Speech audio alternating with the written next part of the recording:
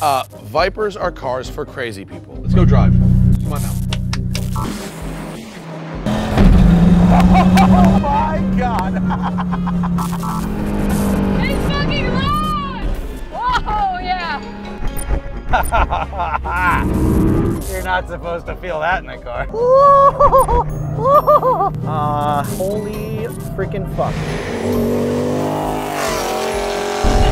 And then it does a burnout at 5,500 in third gear. One hour of track time. Power mirrors don't work. Air conditioning doesn't work. Airbag doesn't exist. What's up everybody? Rob Ferretti here and look at this 488 looking shiny, looking nice. And I have taken so many steps to try to keep this thing in one piece without really annoying customers. And part of that, like there's companies that would like restrict the ability to accelerate in the car or something like that. We've even in the past taken off these Manettinos. I've done videos on this. This here, but then people destroy the sticker on the wheel and you can't just get the sticker, so you have to end up buying a new steering wheel and it gets very expensive. Uh, so here we are, I just got the car back and this is like, I can't tell you how many music videos and Instagram photos. I mean, it's just part of like being like the, the rental Ferrari that you end up all over the world, movies, uh, music videos. But there's things that I don't get. It's that whole G-Wagon thing. Why you climbing on the roof? Same thing with this. This car just came back the other day. And I mean, it's now nicey nice. If you remember my video from yesterday, how you can like hear the, the paint on that E-Class, but it's nice and smooth, looks buttery. No real scratches apparent. I mean, it's gonna need some, you can definitely see some scratches. But if you saw what this thing looked like when it came back, this car came back from these guys. They did 500 miles in a day. And it just, we looked and we're like, uh, sorry, I got to say something. It's not like somebody leaned against the car for a second and it's like, oh yeah, there's a little scuff right there. We'll buff out. The entire car was like somebody wore a Velcro jacket and rolled all over it. It's just like, what? Like, hey, we got some scuffs here. They're like, I don't see anything. I'm like, like, it's, it's like the scene from uh, Liar, Liar. You scratched my car! Where? Right there! Oh, there. That's already there. And you show them that, and they're like, no, no, we don't see that. Oh, that was like that. And it totally wasn't like that. And we totally have video, uh, photos of it not like that.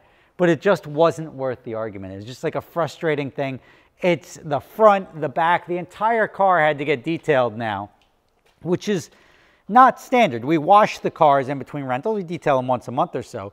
But to bring a car back and specifically require a detail because you're rolling all over it, it's, I don't understand people's desire. When I see a car, I'm like, that's fun. I want to drive that. I want to like sit in that. I want to like make engine noises, whatever. Like all of those I can see. The I want to climb on top of that means like I just don't understand. Why can't you stand next to the car? Like what does going up and rolling around on the hood do for your artistic interpretation of what you have to tell people or what message you're trying to relay?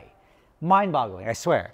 It's frustrating and like, like for smoking in the car, I can charge people for smoking in the car, right? The car stinks. We have to use our like scent bomb machine, which is this big old thing here, which like, I don't know what it does, but it makes it stop smelling. But like that, we have to charge people. We have to do this whole process. We can't rent it out immediately.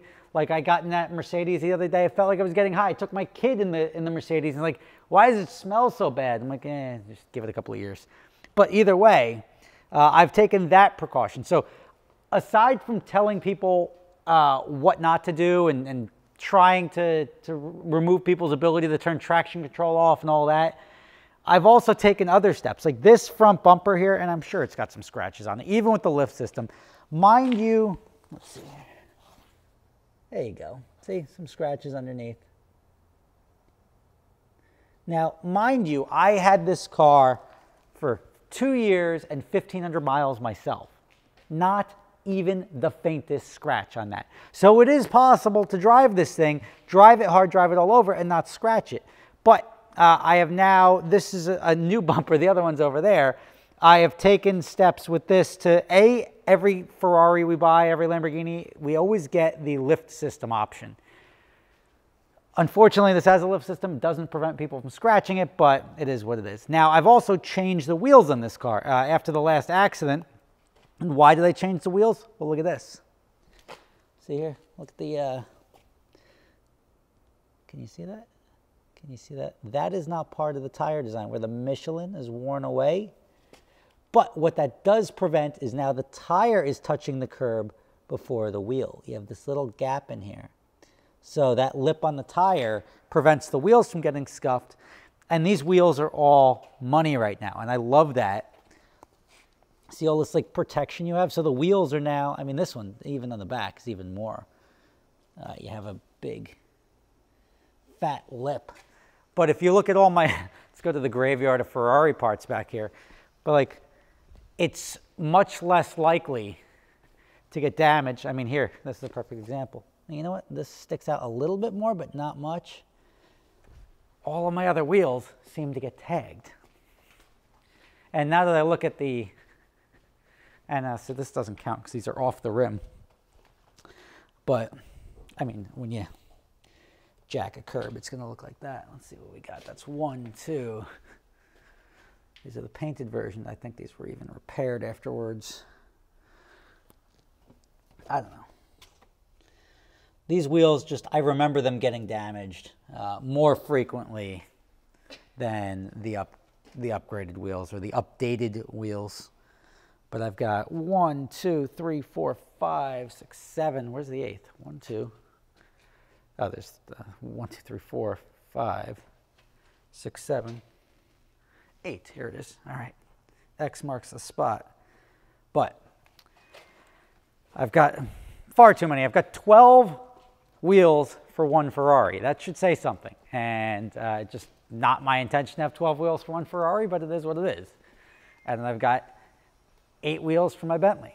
Got four on there, four over here. I've got extra McLaren wheels. I got McLaren brakes. I got. I, I am still waiting to do something. I don't know why. I'm, I'm. This is the biggest digression ever, but I want to take this SLR McLaren brake set that I have, and I want to put it on a project car. Like I, maybe my Corvette, maybe the Evo. I don't know. I, I just feel like that would be cool. Spare Ferrari bumpers it's, it's a frustrating thing, right? It's, it's frustrating to try to figure out ways to prevent people from damaging the car because it just costs extra time and extra money that it shouldn't.